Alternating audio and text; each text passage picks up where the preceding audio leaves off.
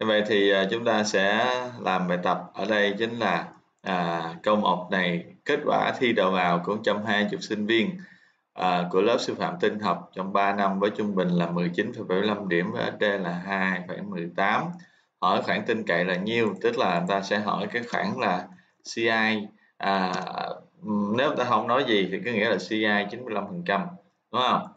Rồi như vậy thì à, với cái với cái bài thi kiểu này nó sẽ tương ứng với lời thống kê mô tả về cái khoảng tin cậy ở mức độ 95% như vậy thì với thằng này thì chúng ta lại không có giải số liệu. Nếu chúng ta không có giải số liệu thì ở đây người ta đã cho cho chúng ta biết được là n là bao nhiêu à, trung bình là nhiêu tức là min là nhiêu và sd là nhiêu. Mà số lượng ở đây chính là 120 sinh viên. Mà số lượng 120 sinh viên thì điều đó nghĩa là chúng ta à, tính cái khoảng tin cậy ở à, mức 95 phần trăm thì chúng ta sẽ tính ra sao đúng không đây thì các bạn lúc này các bạn sẽ mở cái eh, mini tab ra.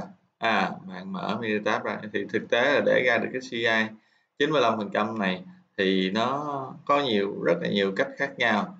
Bạn có thể làm theo cái kiểu gọi là chúng ta hiểu một cách uh, chính xác nó là như thế nào cũng được hoặc là chúng ta chạy thống kê ra cũng được à như vậy thì trong trường hợp này thì à, thầy có thể thầy có thể chạy thống kê. À, nó cũng ra được cái khoản CI thầy lấy một cái ví dụ ha. Thầy lấy ví dụ như bây giờ thầy so sánh à, thầy sử à, thầy lấy ví dụ như thầy chạy bảng thống kê đây. À như vậy thì thầy chọn là à, nó là nó là nó là gì? Nó nó là có n bằng 120 như vậy thì nó không quá lớn cũng không quá nhỏ. Vậy thì nó sẽ tương ứng với lại là à, t test à tương ứng t test nếu thầy làm kiểu này nó sẽ nhanh chóng gọn. À ví dụ như thì sẽ có một cái summary à đây là một cái summary tại vì họ thầy không phải là cái cái số liệu thô. À số liệu đã được ờ, đã được tính toán. Thì ở đây chúng ta sẽ có 120 nè. À uh, min chúng ta là nhiêu à? Min chúng ta sẽ là à, 19,75 thì 19,75 à, cái sai số chuẩn à, à, độ lệch chuẩn là nhiêu? SD là 2,18 à, 2,18 rồi à, nếu thầy không có so sánh gì hết thì cứ one sample t thôi. Như vậy thì thì ok thầy sẽ ra được cái bảng số liệu bao gồm có à, trung bình độ lệch uh, à, SE và tính được cái khoảng tin cậy là 95% là của, của của cái giải số liệu này là nhiều. Hay vậy thì thầy thầy có được cái khoảng tin cậy. Đó cái thứ hai là thầy sẽ phải hiểu rõ hơn à, hiểu rõ hơn à, về cái khoảng tin cậy. Khoảng tin cậy 95% chính là chúng ta sẽ lấy cái xác suất à, của thằng 95% ta nhân cho cái à, số liệu của chúng ta. À, như vậy thì bữa hôm thầy ôn tập thì à, thầy đã cho các bạn à, giải thích cho các bạn hiểu về cái à, cái cái số liệu nó nằm trong à, buổi à, số 5 thì phải à. Dạ. Hay buổi số 5 nếu bạn à, lật cái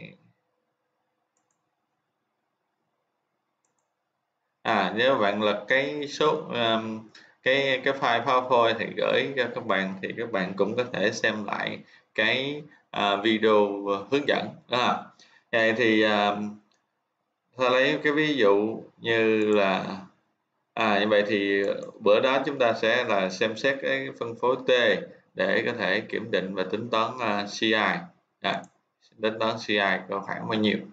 Như vậy thì từ cái dữ liệu là N từ cái dữ liệu là trung bình từ cái dữ liệu là độ lệch thì tính khoảng tin cậy ở mức độ 95% thì nếu ta có dữ liệu à, là n bằng 30 min bằng 28 sd bằng 44 thì từ đó chúng ta biết được độ tự do là nhiều. Từ cái độ tự do bao nhiêu đó thì chúng ta sẽ tính ra được SE à từ cái việc chúng ta tính ra được SE thì chúng ta sẽ có là CI 95% đó chính là cái gì?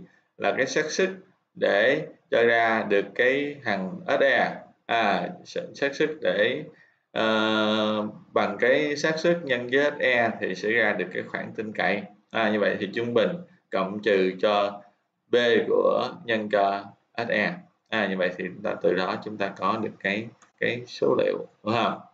Này trong tình tình huống của bài này à trong tình huống của bài này thì uh, các bạn sẽ chọn là à, Grab, à, properly. À vậy thì chúng ta sẽ chọn là một cái à, view properly nó nằm ở đây.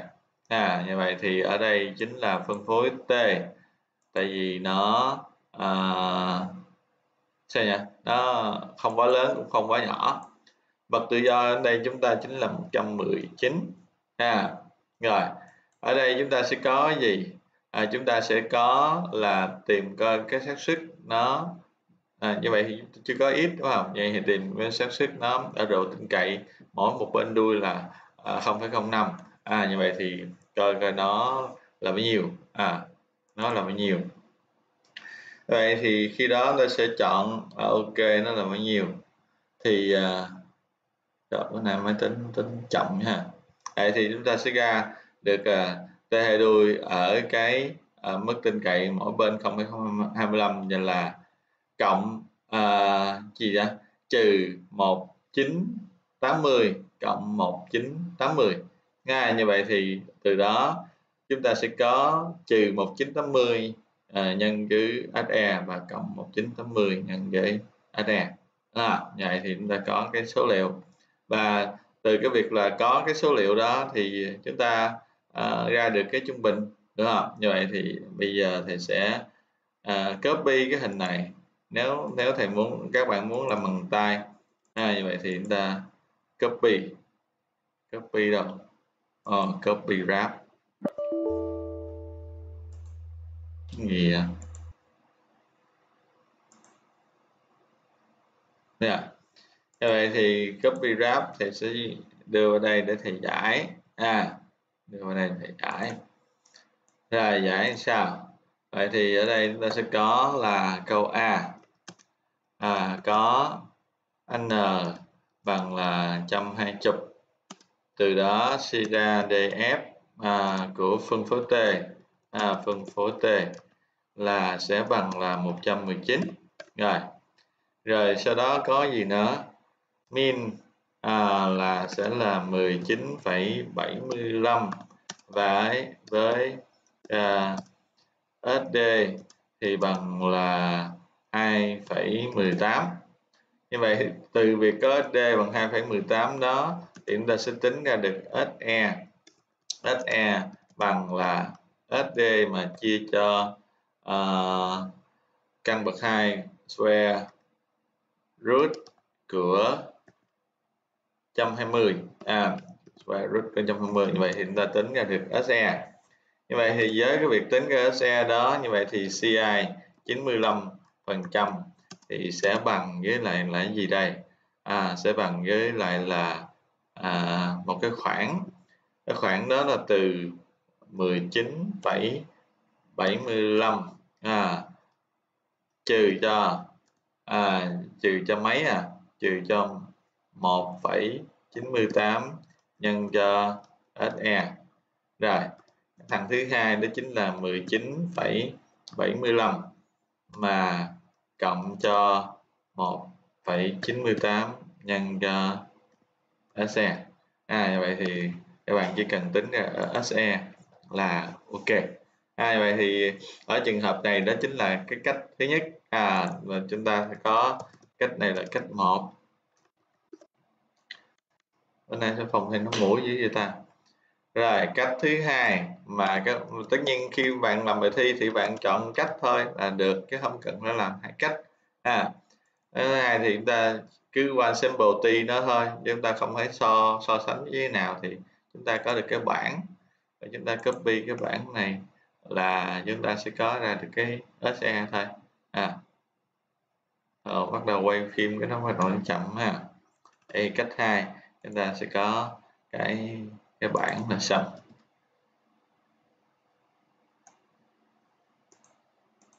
ờ, các bạn nghe xíu à.